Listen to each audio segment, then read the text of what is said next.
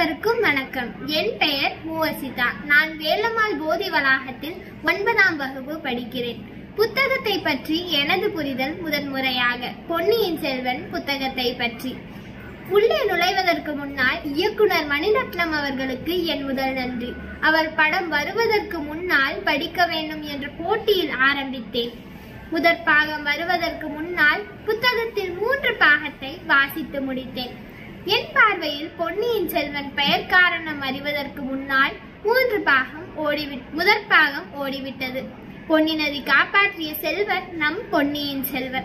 சோழ நாட்டின் வளத்தையும் அழகையும் பண்பாட்டையும் பழக்கத்தையும் வரைத்து வருணனைத்து எழுதிய நம் படைப்பாளருக்கு என் மற்றுமோ நன்றிகள்.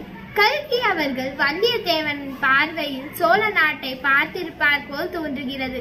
இதை நான் ஏன் சொல்கிறேன் என்றால் அவர் ஊர் பேர் இல்லாத உற்றார் உறவினர் இல்லாத வல்லத்து பட்டத்தை காற்றில் பறக்க விட்டு கொண்டிருக்கும் வந்தியத்தேவனில் ஆரம்பித்து ஊர் போற்றும் உலகை ஆளும் அரசனின் நண்பனாகவும் இளவரசியின் மனம் கவர்ந்த நந்தனாகவும் சேந்தனின் சிநேகிதனாகவும் ஆழ்வார்க்கடியானின் ரசிகனாகவும் சிற்றரசர்களின் சிம்மாசனமாகவும் மற்றும் ஈழத்து படையின் சேனாதிபதியாக மாறிய வந்தியத்தேவனில் முடித்துள்ளார்.